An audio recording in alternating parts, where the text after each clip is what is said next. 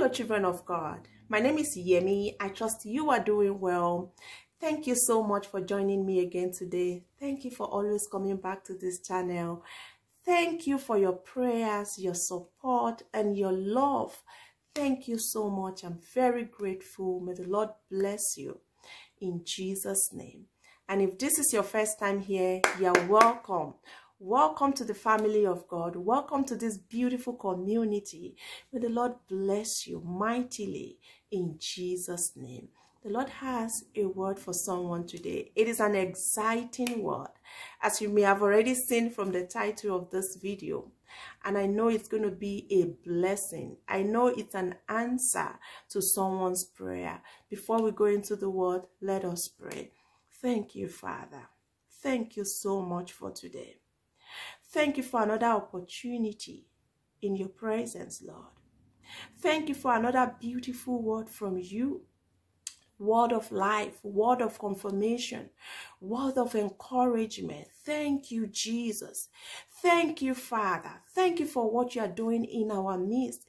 You are working behind the scene, working tirelessly. Lord, we say thank you. Thank you for working on our behalf. Thank you for everything you've done in the past. Thank you for what you are doing right now, for the miracles you are releasing in our midst, for the breakthroughs that you are giving to your children, for the doors that you are opening, oh God, for provisions, for supplies that you are sending to your children, for your favor upon our lives, for guiding us, for directing our paths, for leading us and ordering our steps, oh God. Thank you, Jesus. Thank you, Father. Holy Spirit, thank you. Thank you for everything. I thank you for everyone who is watching this video right now. I thank you for everything that concerns them, everything that is connected to their life. I thank you for what you are doing right now in our midst, oh God. Thank you, Lord, in Jesus' name. Father, have mercy on us.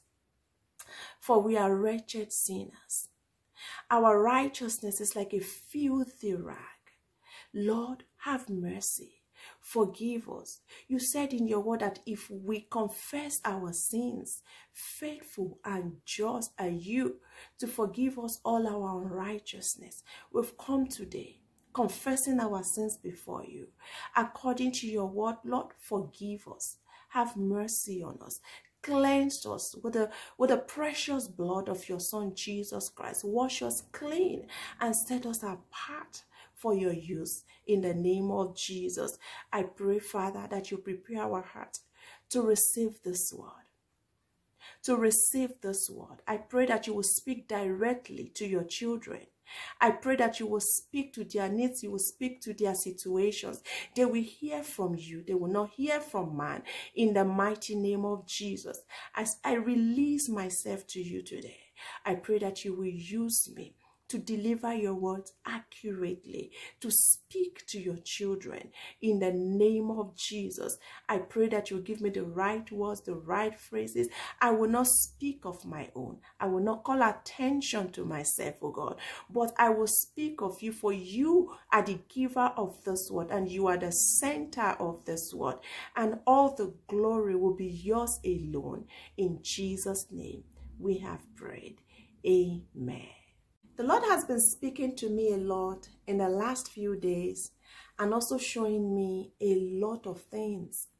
And one of the themes I have received a lot of messages about in the last four days or so is the theme of home, a dwelling place.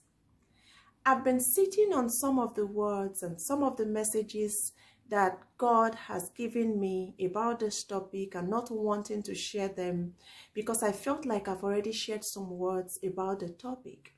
But this morning, as I saw the Lord, He gave me another word which still falls under the same topic. And the Lord said to me, You've been praying about this for them, and I am working and answering. Share my words.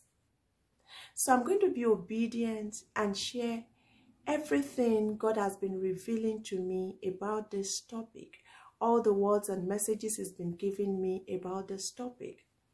This is the word of the Lord for someone today. The Lord says, I see how you care for that home, even though it doesn't belong to you. And even though it looks old and worn, I will bring you to the point of owning your own home. The Lord says, You are not the only one praying for a home of your own, but someone in your neighborhood sees how you care for the home you currently live in, and they are talking to me about you. They are interceding for you for a home of your own. Wow. This word really hit me this morning and it made me teary as I heard and wrote it down. It makes me feel more conscious of my actions and environment. I've always been very conscious, but this is like an eye opener that has made me even more aware of how I conduct myself and take care of what God has entrusted to me. Praise God. People are watching you, they are observing you, especially if you call yourself a believer and follower of Jesus. What you do may determine if unbelievers around you will seek Jesus or not. And you are not only being watched here on earth, heaven is watching you. Heaven is watching you. As the angel said to Cornelius in Acts chapter 10, verse 4, your prayers and neighborly acts have brought you to God's attention. So God is saying to you today that your acts and faithful stewardship have brought you to my attention and the attention of those around you to the extent that they are lifting you up in prayers. I have received your effort as an act of service, says the Lord.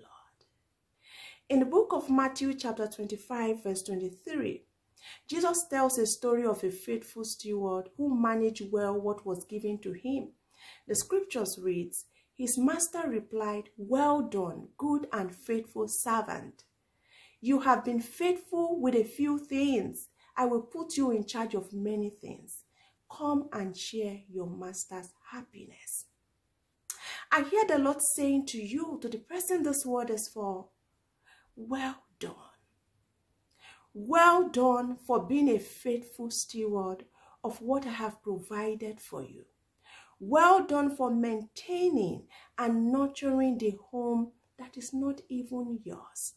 Well done. The Lord is saying, Well done to you. And the Lord is saying to you, because you have been faithful with someone else's property, I am blessing you with your own place, with a home of your own. Your diligence and care have not gone unnoticed, says the Lord. You know, sometimes God tests us to know if we will be faithful with what He gives us. So He starts with little things. He makes a way for us to have someone else's property in the form of rent. He gives us the opportunity to prove our faithfulness and stewardship. Praise God. And if you pass the test, He promotes you. If you pass the test, God will promote you. Some of us want a promotion without passing the test. Some of us treat other people's home carelessly and say, after all, it's not my own. Some of us handle our jobs with levity, yet we are trusting God to give us our own businesses. It may not happen unless we prove ourselves faithful in the small things. Yes, I know that taking care of what we have can be very strenuous sometimes. But if we look at everything we have, regardless of the size or how it came about as God's provision for us, and if we understand that God give us things to take care of them, we would be happy to do them. Praise God. Remember, everything we have is a gift from God and a test of our stewardship. And when we are faithful with a little, God will entrust us with much. So continue to take care of that home. Today, I want to encourage you to continue to be diligent in your work and trust that God sees your faithfulness and is preparing you for something greater. Is preparing you for a greater blessing. Praise God. Father, thank you for your word. Thank you for answering our prayers and for working on our behalf. Thank you for the blessings of new homes for your children, Father. Father, we ask for your continued guidance and wisdom as we strive to be faithful stewards of all you have given to us. Help us to care for what you have given to us. Help us to be diligent and look after everything you have given to us.